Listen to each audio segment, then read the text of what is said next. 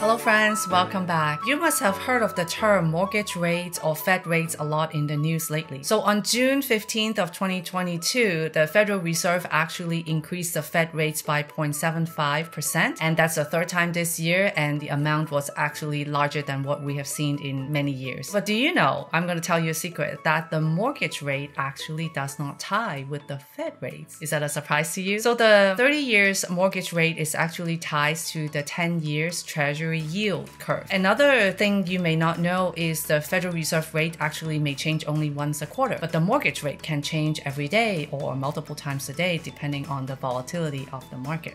Let me show you this graph here. On June 15th, when the Fed rates went up, the mortgage rate did go up with it on the same day. But do you see since then, the mortgage rate actually has come down. So if you out looking quoting a 30 years mortgage rate, you can expect it to be lower than on June 15th. And actually right before the July 4th weekend, 30 years jumbo rate uh, fixed rate mortgage was around 4.75%, unlike the 6% that we're hearing in the news.